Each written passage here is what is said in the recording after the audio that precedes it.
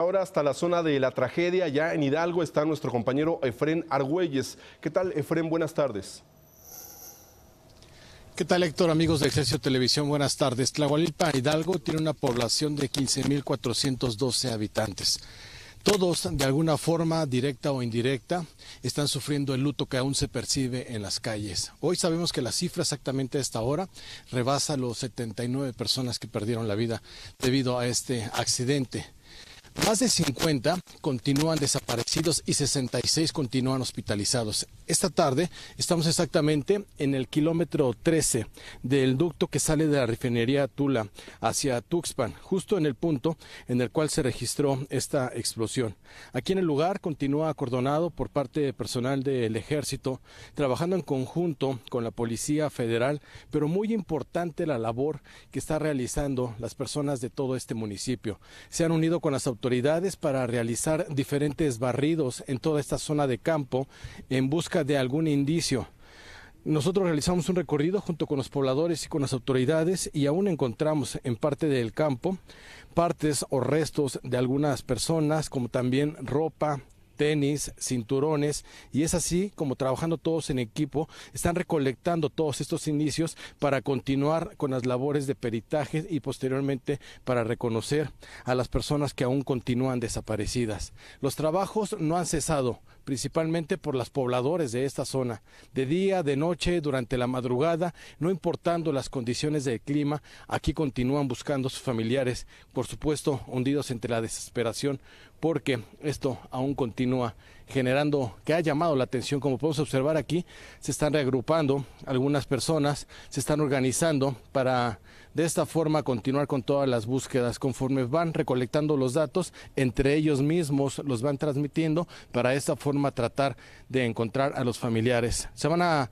prolongar los trabajos en este lugar por parte de personal de Pemex, pero también por parte de los peritos de la Procuraduría, quienes están recolectando todo para identificar a las más de 50 personas que aún continúan desaparecidas. Así es, Efren. Vemos que la zona está acordonada, vemos ahí a los familiares que buscan algún indicio de las personas desaparecidas. Es que la cifra de desaparecidos es realmente grande. Dices que son 60 las personas desaparecidas que pudieron haber quedado calcinadas en esta explosión y esto elevaría sustancialmente la el número de muertos, Efren. Así es, como podemos observar justo al fondo, allá la imagen de mi compañero Cuauhtémoc Lira, es como se están organizando las personas realizando estos barridos. En cuanto encuentran algún indicio, levantan la mano y de esta forma llega el personal de peritos para marcar la zona, levantar la evidencia y posteriormente es precisamente el Ministerio Público quien lo retira. Y en relación a esto es como los familiares identifican las prendas e inician la investigación para determinar si su familiar perdió la vida, si el familiar continúa hospitalizado o simplemente no hay más rastros de ellos. Es así como desde las primeras horas de este día es como están coordinando las autoridades y por supuesto la población. Muy importante como siempre la labor que está realizando la población siguiendo las instrucciones por parte de las autoridades, trabajando a escasos metros de la zanja donde se registró esta explosión, Héctor.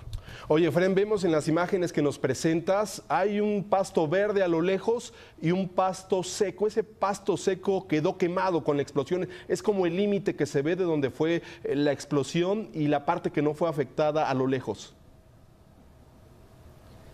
No te escucho muy bien, Héctor, por la zona que nos encontramos, pero justo donde se registró la explosión, como podemos observar, ahí continúa parte del químico acumulado, por supuesto mezclado con combustible, y a escasos 50, 70 metros es donde están los familiares buscando los restos. ¿Qué fue lo que encontramos?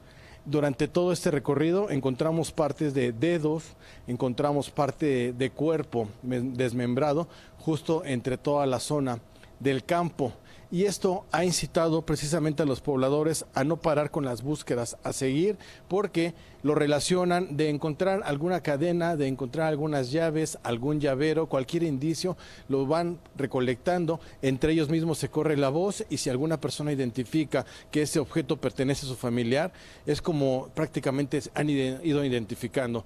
Ahí estamos observando como nuevamente comienzan a reagruparse para continuar con todos estos barridos que van a continuar a lo largo de las próximas horas y posiblemente a lo largo del día y posteriormente. Otra cosa que señalar, Héctor, es que también en la funeraria del Ángel en Tula es donde han sido trasladados los restos. Algunas personas llegan buscando a sus familiares para relacionarlos con estos restos, pero solo a través de, alguna, de algún artículo. Es como están identificando los cuerpos. Si no tienen algún artículo y solamente lo quieren hacer por ADN, tienen que acudir al Ministerio Público de la Procuraduría del Estado, ahí se les hace el ADN, después del resultado es como continúan con toda la búsqueda para identificar a los familiares. Realmente se percibe el luto en las calles luego del huachicol que nos menciona que precisamente acabó con la tranquilidad de los pobladores, que no es nuevo.